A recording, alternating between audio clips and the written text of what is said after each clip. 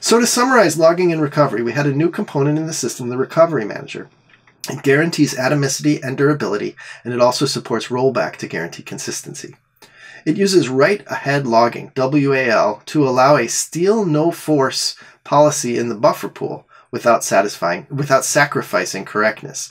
And remember that steal no force gave the buffer pool the most flexibility to decide when and what pages to replace.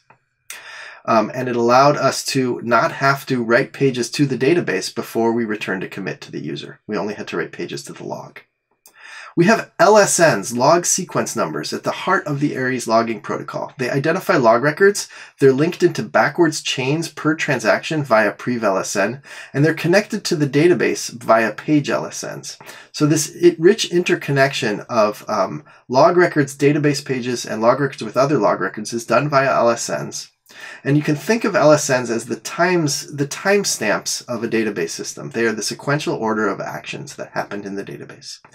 The page LSN is the thing that connects the database page to the log record. It allows comparing database pages and log records in time. Checkpointing is done in a very clever way in Aries, where the only thing we actually write to the checkpoint records is the state of the main memory tables. Okay, the dirty page table and the transaction table. But the checkpoint is there and it allows us to limit the amount of the log we need to scan on recovery. We don't have to scan from the beginning of time. Recovery works in three phases. There's an analysis phase forward from the begin checkpoint record. There's a redo phase that's forward from the oldest rec LSN in the dirty page table after analysis. And there's an undo phase which goes backwards from the end of the log to the first LSN of the oldest transaction alive at the time of crash.